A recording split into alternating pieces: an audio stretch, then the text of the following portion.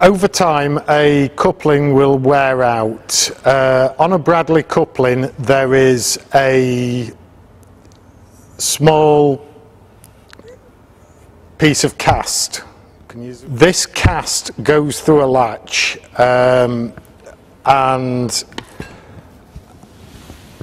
over time the latch will lower down.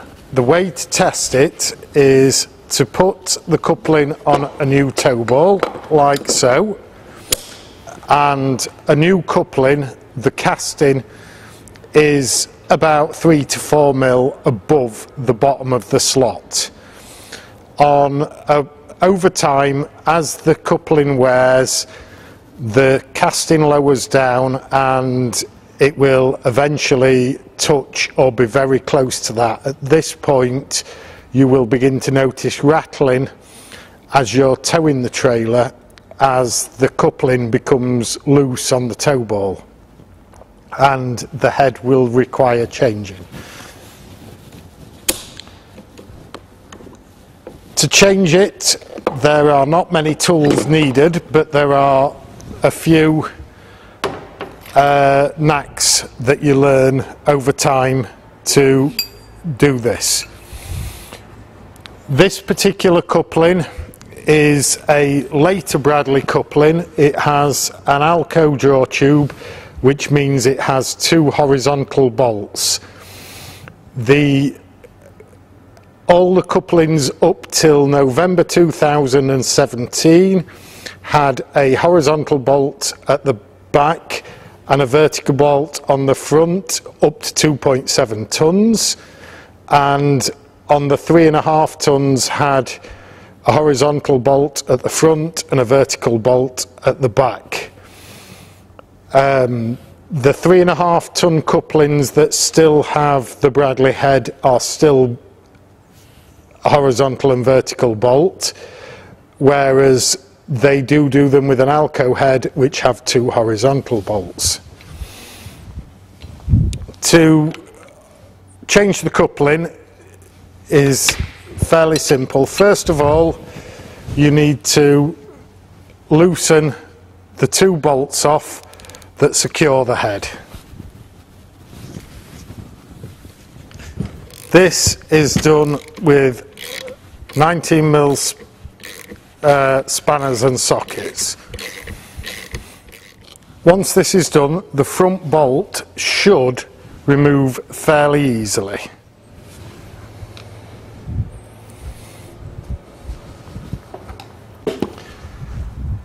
Then the second bolt, the rearmost one, tap it back with a hammer.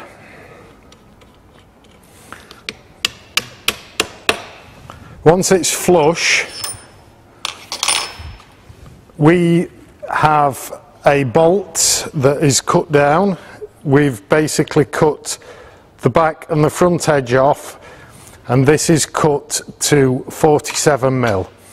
The reason it's cut for 47 mil is the older couplings have a 48 mil draw tube. This will sit inside the draw tube.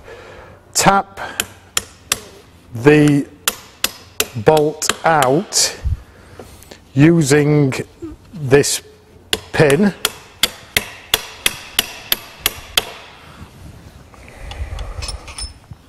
and tap it until it's fully inside the draw tube. Once this is fully into the draw tube, the head will then slide off. This leaves the pin sat inside and this holds the damper and stops the damper coming forwards. Then refitting the damper, the, the coupling head is quite simple with the front bolt just sliding in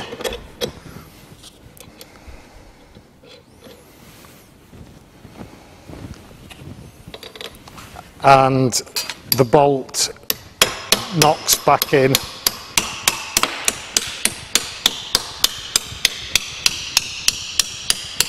and pushes your pin back out. Once this is done, it's recommended to use new nuts. I'm not using new nuts because this head is going to come off again. But once that's done, they just need tightening up and talking to the correct torque.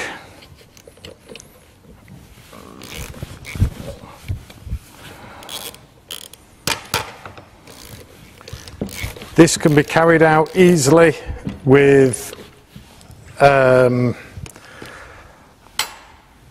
with the trailer, the coupling fastened to the trailer. There's nothing in the way and never any problems to uh, that you will come across where you won't be able to do it while it's on the trailer.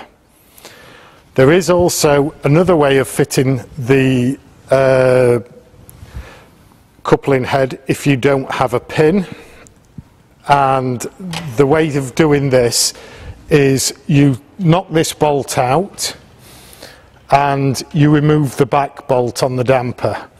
Once the back bolt's removed on the damper, the bolt can uh, be lined up on the front and with the size of this section on the back, it is a lot easier to line this up by putting a podger or a screwdriver through the back and sliding the bolt in the back. It's not quite as simple as having the pin, but either way will work.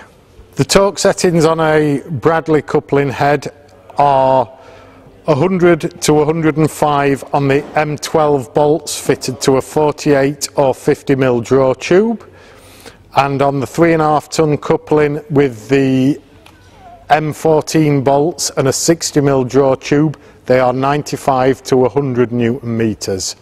Not have different torque settings, not use 100 mil on M12s on their 50 mil draw tube and 125 newton meters on their M14 bolts that's used on the 60 mil draw tube used in the three and a half ton coupling.